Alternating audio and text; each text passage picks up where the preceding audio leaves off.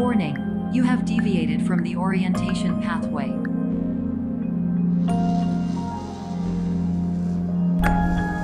Hello, my name is Dr. Glenn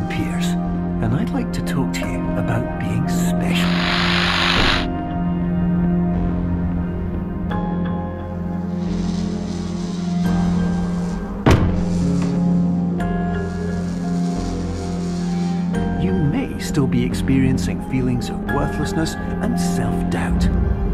Why do I feel like everything is going wrong, even when the sun is shining?